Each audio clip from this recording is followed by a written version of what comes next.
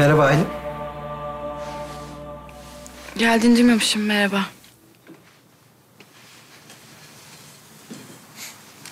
Nerelere dalıp gittin Ali? Hiç öylesine dalmışım. Ben de uyumuşum. Geldiğini duymadım. Aldığım ilaçlar yüzünden. Öyle derin uyutuyor ki. Abim yok mu? Beni bırakıp gitti. Bir randevusu varmış. Eski hayatına dönmeye başladı demek. Son zamanlar biraz durgundu. Evet. Öyleydi.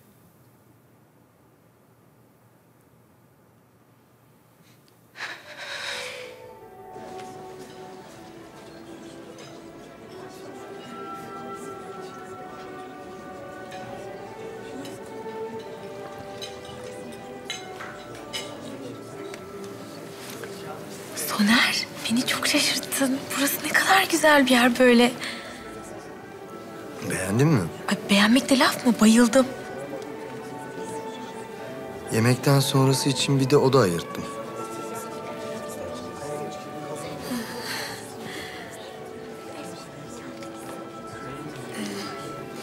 Seninle baş başa kalmayı ben de istiyordum. Güzel.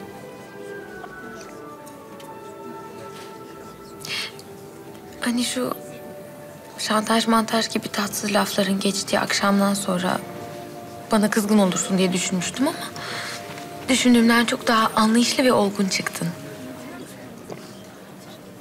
Teşekkür ederim. Bunları konuşacak zamanımız olacak. Odada. Baş başa kaldığımızda. Sabırsızlanıyorum. Servise başlayabilirsin. Peki Soner Bey.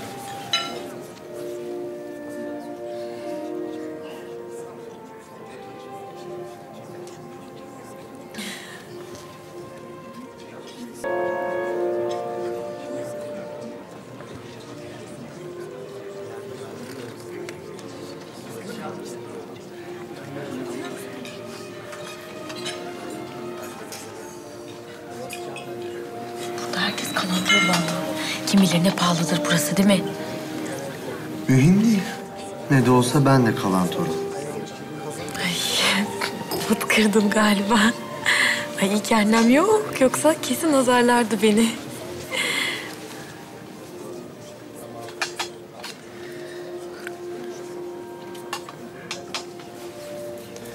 Ne dersin? Artık odaya çıkalım mı? Tabii. Ee, kalantorluğun tadını çıkaralım değil mi? Ya. Değil mi?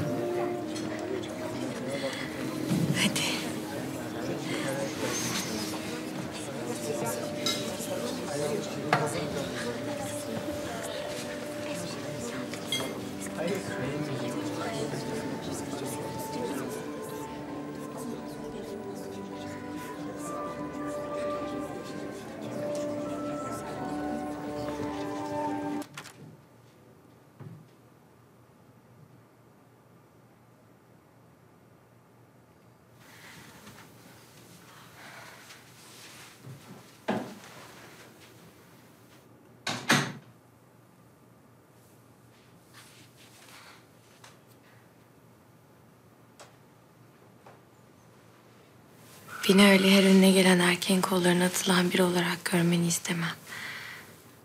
Ben sana teslim oluyorum. Müstakbel kocama. Bu ne büyük bir şeref.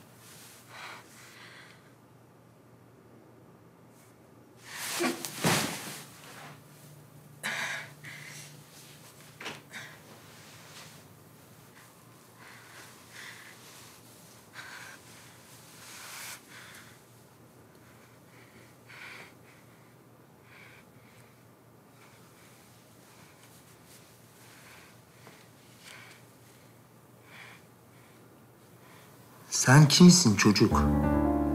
Sen kimsin de beni tehdit ediyorsun? Sen hangi cüretle bana şantaj yapıyorsun? Hangi cüretle? Eğer o anlaşma konusunda ağzını açıp bir laf edecek olursan, bunu Murat'a söyleyecek olursan, Aylin'e herhangi bir şekilde saygısızlık ettiğini görürsem senin boynunu kırarım. O kokoş anneni, o sünepe babanı da cehennemin dibine yollarım anladın mı? Anladın mı? Anladın mı dedim sana?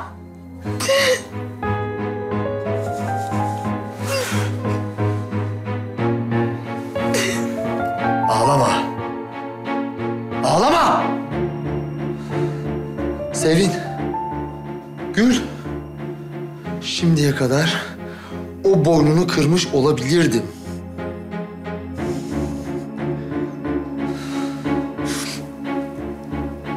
Zırlaman bittikten sonra elini yüzünü yıka. Makyajını tazele. Kendini toparla. Araba otelin önünde bekliyor. Seni evine kadar bırakacak.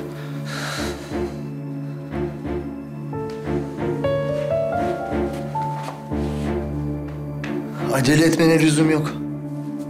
Şoför bekler. Zamanın var.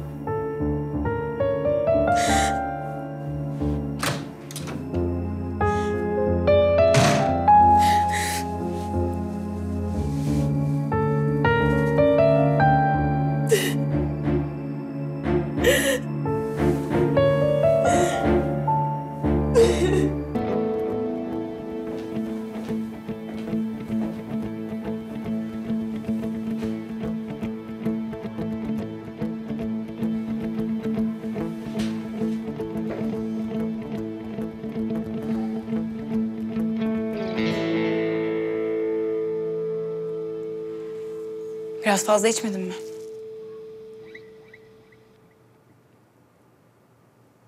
Bilmem. Hala ayakta durabildiğime göre. Randevun iyi geçmedi mi? Aslında iyi geçti. Tam düşündüğüm gibi. O halde. O halde salla domat. O ne demek be? Domat işte. Domates. Bildiğin domates. İzmirli bir çocuk vardı askerde. Öyle işin içinden çıkamadığı zaman gülerek elini sallardı. Aman salla domat derdi. Salla gitsin manasında. salla domat. O halde işte öyle. Salla domat. Sarhoş olmuşsun sen.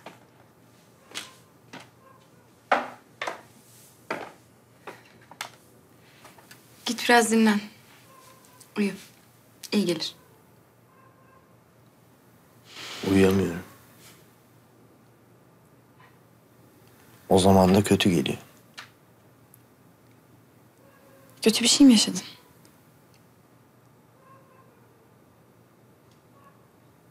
Bu kadar yakınken...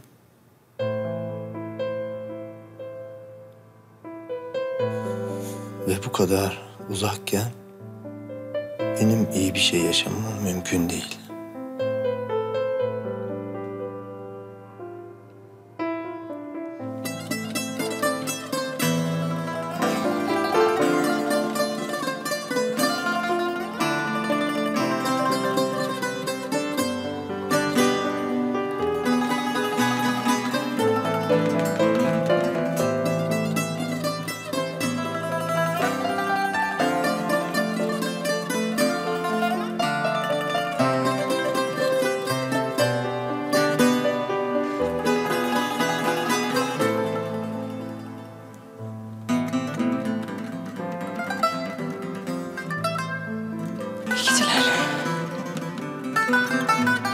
İyi geceler.